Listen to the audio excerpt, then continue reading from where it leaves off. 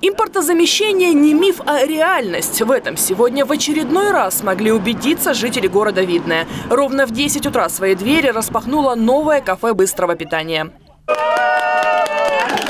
Когда-то на этом месте был знаменитый международный фастфуд. Теперь здесь располагается отечественный аналог предприятия быстрого питания. Новому владельцу удалось сохранить полный штат прежних сотрудников. Всего порядка 60 работников. Отвечаем за качество продукции, которую мы предоставляем каждому гостю. Будем очень безумно рады видеть каждого каждый день снова и снова. Меню сократилось, но основные привычные потребителям позиции есть. Называются только теперь по-другому. Знакомый вкус снова ощутили первые посетители. Я обожаю гамбургеры. Поздравляем с открытием. Все одно и то же. Так и осталось. Очень рады, очень ждали. Все классно. Мы очень рады, то, что открылись. Казалось бы, просто кафе быстрого питания, но для многих это целая философия жизни. И сегодняшнее открытие словно говорит, все встанет на свои места. Ну и, конечно, давайте попробуем.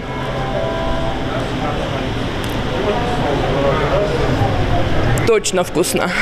Почти все продукты для блюд российские. Производятся в Подмосковье. В частности, два предприятия находятся на территории Ленинского городского округа. Юлия Погосян, Александр Логинов, Ольга Садовская. Видно этого.